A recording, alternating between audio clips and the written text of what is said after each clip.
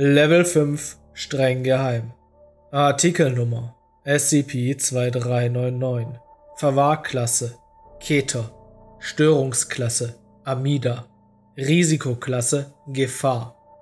Sonderverwahrungsverfahren. Aufgrund des Aufenthaltsortes und der Beschaffenheit von SCP-2399 ist eine physische Verwahrung oder Eindämmung derzeit nicht möglich.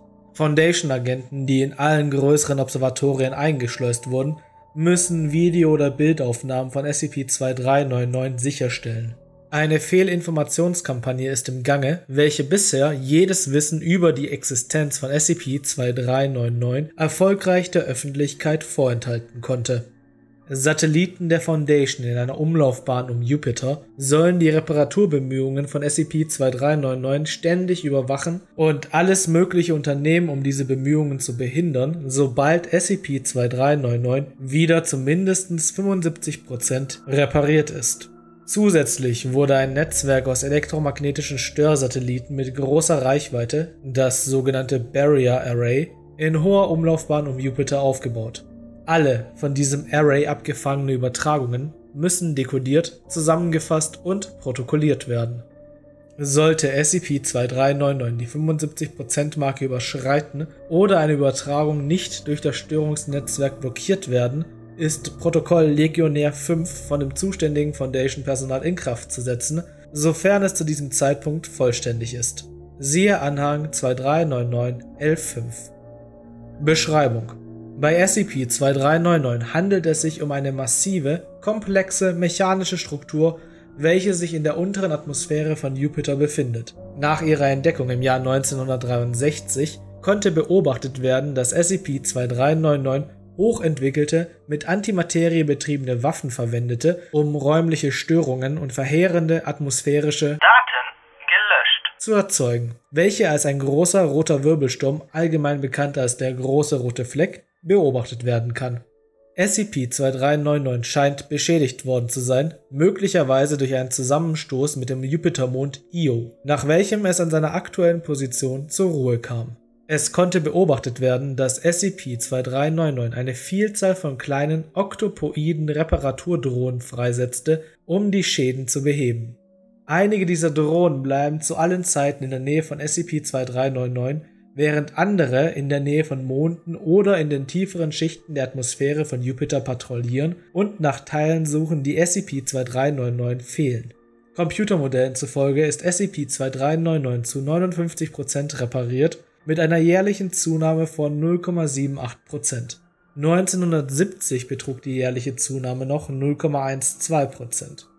Trotz seines beschädigten Zustands scheint SCP-2399 über eine unbegrenzte Energiequelle, eine fortschrittliche elektromagnetische Abschirmung, materieannihilierende Waffen, die Fähigkeit, an sich selbst verursachte Schäden zu reparieren und ein präzises Verfolgungs- und Zielsystem zu verfügen. Siehe Anhang 2399-2b.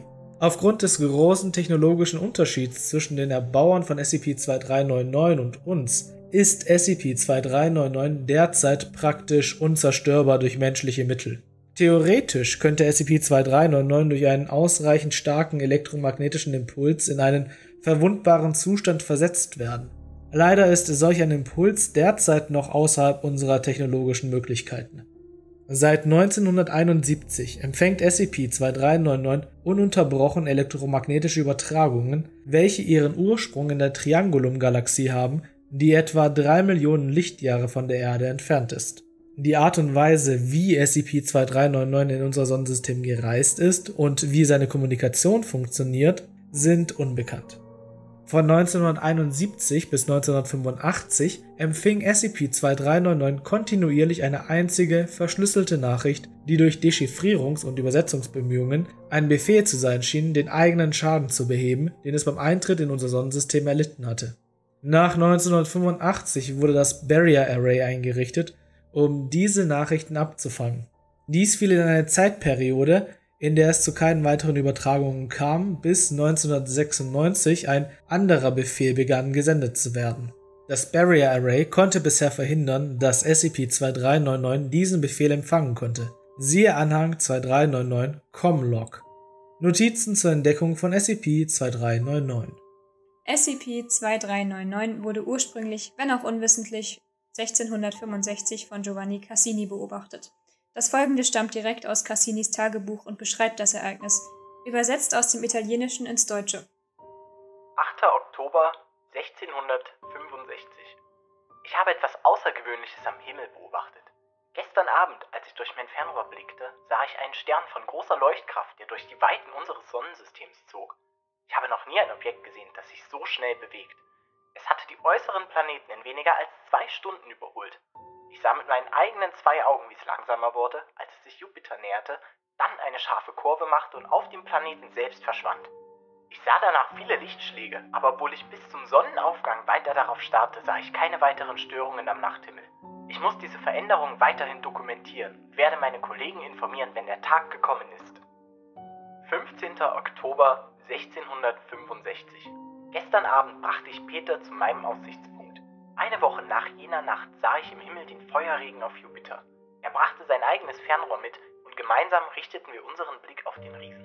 Zu unserer Überraschung ist eine großartige Veränderung eingetreten. Wo einst die ferne Welt nur Farbbänder zeigte, gibt es heute einen großen roten Fleck, an dem der Stern auf der Oberfläche des Jupiters zur Ruhe kam. Peter war natürlich ungläubig, dass eine so erstaunliche Entdeckung vor unseren Augen hätte stattfinden können. Ich werde unsere Erkenntnisse weiterhin festhalten. 18. Oktober 1665 Heute Abend, als ich durch mein Fernrohr blickte, schwöre ich bei meinem Leben, dass ich etwas beobachtete, was für mich wie Explosionen und Sternenausbrüche aussah, die von unserem roten Fleck ausgingen. Ich fürchte, mein Verstand spielt mir Streiche. Denn seit den Anfängen der Astronomie gibt es keine Aufzeichnungen über solche gewalttätigen Ausbrüche eines Himmelskörpers. Ich werde mich morgen mit Peter beraten und hoffentlich von ihm einige Ratschläge in dieser Angelegenheit einholen. 19. Oktober 1665 Peter sieht das gleiche wie ich. Als ich mich ihm mit meinem Bedenken näherte, nivellierte er dasselbe mit mir. Und durch unsere folgende Diskussion kamen wir zu dem Schluss, dass es eine starke Reaktion auf die Sternschnuppe sein muss, die ich in der ersten Nacht sah nicht nur ein Produkt unserer eigenen Mängel. Ich frage mich nur, welche Katastrophe sich auf unserem himmlischen Nachbarn abspielen muss. Unsere Arbeit der Dokumentation muss fortgesetzt werden. Anhang 2399-2b Am beobachtete die Barrier-Einheit 53, wie eine der Reparaturdrohnen von SCP-2399 sich einem Trümmerstück näherte, welches sich als Teil einer beschädigten Kommunikationsanlage herausstellte. Aufgrund der möglichen Auswirkungen, die die Bergung dieser Komponenten durch SCP-2399 haben würde, wurde die Barrier-Einheit 45 angeordnet, mit ihrer eingebauten Schockwellenbatterie das Feuer auf die Drohne zu eröffnen. Die Batterien wurden erfolgreich abgefeuert, aber die Drohne schien unbeschädigt. Das von der Barrier-Einheit 53 erhaltene Material zeigt, dass die Geschosse 5 Kilometer vor der Reparaturdrohne durch Schüsse von SCP-2399 zerstört wurden. Die Bodenkontrolle verlor 15 Sekunden nach der ersten Entladung den Kontakt zur Barrier-Einheit 45, wobei die Videobeobachtung zeigte, dass SCP-2399 Daten gelöscht. Die resultierende räumliche Anomalie, die von Daten gelöscht. Die Terminierung von Barrier-Einheit 45 durch Einheiten 44, 51, 55 erforderlich machten. Unter keinen Umständen dürfen Barrier-Einheiten SCP-2399 oder die von SCP-2399 freigegebenen Drohnen angreifen. Anhang 2399-2c Projekt Gigas Nach den Ereignissen vom wurde beschlossen, dass die notwendigen Aufwendungen zur Zerstörung oder Lahmlegung von SCP-2399 autorisiert werden. Verwendung von Foundation-Ressourcen sowie Ressourcen aus 45 Ländern, insbesondere eine Plattform mit Sprengköpfen mit je Megatonnen Sprengkraft, Sprengköpfen mit EMP-Zündern, wurde gestartet und in eine Umlaufbahn um Europa gebracht. Am um Uhr wurde mit Genehmigung von 15 Staatsoberhäupten und O5, O5, O5, O5 und O5 die gesamte Nutzlast des Projekts Gigas in Richtung SCP-2399 abgefeuert. Daten. Derzeit werden Anstrengungen unternommen, alternative Methoden zur Beseitigung von SCP-2399 zu entwickeln. Die Reparatur von SCP-1396 wurde vorgeschlagen, wurde aber als derzeit nicht durchführbar erachtet. Anhang 2399-L5 Also, SCP-2399. Haben Sie sich schon einmal gefragt, wie viel Glück Sie hatten, noch am Leben zu sein, nachdem Sie von einem Autounfall auf einer Straße gehört haben, auf der Sie gerade noch waren? Oder von einem Bombenanschlag in einer Stadt, die Sie gerade besucht hatten? Wie viele Dinge müssen richtig gelaufen sein, damit Sie weiter existieren konnten? Ein paar Sekunden zu spät, ein paar Sekunden zu früh und jemand greift nach etwas, das er gerade fallen gelassen hat und ein Haufen Menschen stürzt mit einem anderen Haufen Menschen zusammen. Solche Dinge passieren, wie wir wissen, viel zu oft. Aber dafür sind wir ja hier, um diejenigen zu beschützen, die sich nicht vor Dingen schützen können, von denen sie nicht einmal wissen, wie sie sich selbst schützen könnten. Aber wir können uns nicht um alles kümmern. Für all die Dinge, die wir eindämmen konnten, all die Dinge, die wir geheim halten konnten und die uns zerstören könnten, gibt es viel zu viele Dinge, gegen die wir nichts tun können. Vielleicht sind sie zu groß, zu schnell oder zu mächtig. Jedes dieser Dinge könnte die Menschheit in einem Wimpernschlag aus der Existenz löschen. Die Tatsache, dass das noch nicht passiert ist, ist reines Glück. Bei SCP-2399 verhält sich die Sache aber anders. Wir haben nur wenige Informationen über die Motive, den Herkunftsort und die vollen Fähigkeiten von SCP-2399. Wir verstehen nicht, wie es in der Lage ist, über so große Entfernungen zu kommunizieren oder, oder warum diejenigen, die es konstruiert haben, falls es tatsächlich konstruiert wurde, es überhaupt zu uns geschickt haben. Wir wissen nicht, was passieren würde, wenn sich SCP-2399 vollständig selbst reparieren könnte oder wenn ein Teil unseres Arrays zusammenbräche und eine Nachricht durchkommen würde. Wir wissen das nicht, also müssen wir das Schlimmste annehmen.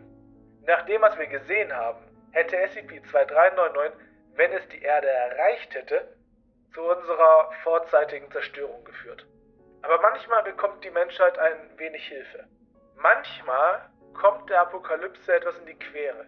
Für uns und für SCP-2399 war es Jupiter.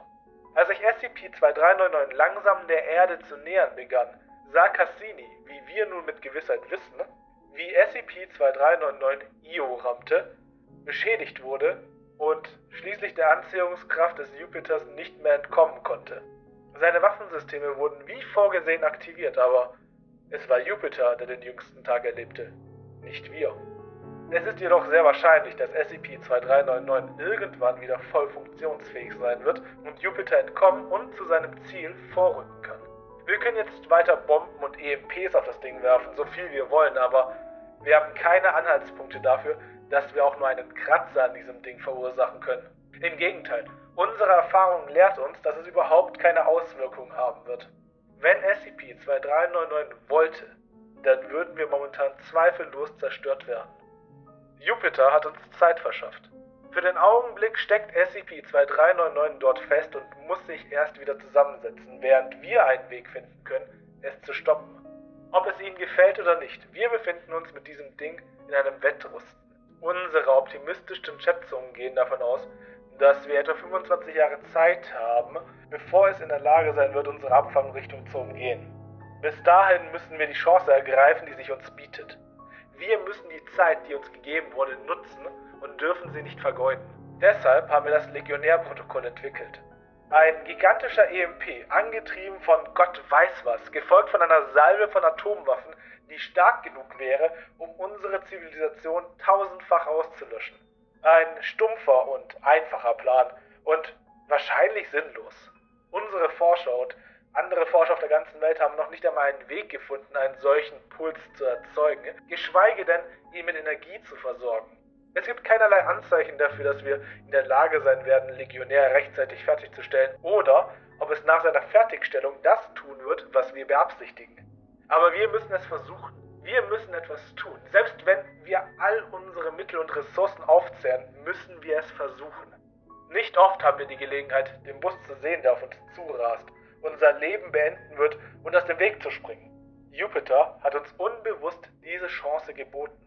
Ich schlage vor, dass wir sie ergreifen. Randall McAllen, Direktor. Barrier, Barrier Projekt, Standort. Anhang 2399 Comlog. Alle nachfolgenden Nachrichten haben sich so lange wiederholt, bis eine neue Nachricht gesendet oder eine Funkstille protokolliert wurde. 1971. Einheit ist beschädigt. Reparatur. 1985. Aktualisierung. Position beibehalten, Reparatur. 1985. Funkstille. Barrier Array wird aufgebaut. 1996. Einheit ist nicht in Reichweite des Ziels. Bewegung zum dritten Planeten im System. Koordinaten redigiert. Reparatur. 2015. Einheit ist nicht in Reichweite des Ziels. Bewegung zum dritten Planeten im System. Koordinaten redigiert. Ziel hat Priorität. Reparatur einstellen.